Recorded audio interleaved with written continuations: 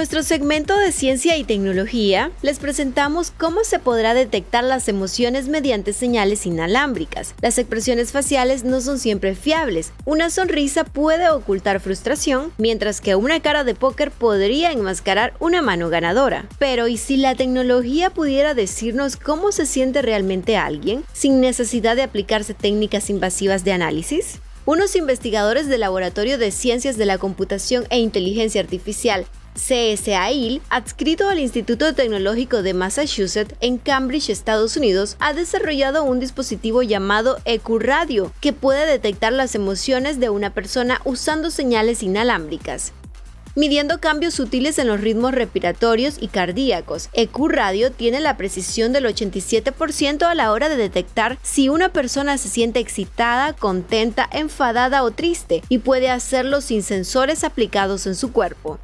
El equipo de Dina Katabi, profesora del Instituto Tecnológico de Massachusetts en Cambridge, Estados Unidos, prevé el uso de su sistema en campos como el entretenimiento, la salud y el análisis del comportamiento de los consumidores los estudios cinematográficos y las agencias de publicidad podrían comprobar las reacciones verdaderas de los espectadores en el tiempo real, mientras los teléfonos móviles podían usar la información sobre todo estado de ánimo para ajustar la calefacción o sugerir que tomemos algo de aire fresco, todo ello de forma no invasiva. Dina Katavi del centro explica que la expresión facial de Fadel Avil derecha es neutra, pero el análisis del sistema EQ Radio ha hecho de su ritmo cardíaco y su respiración muestra de que está triste.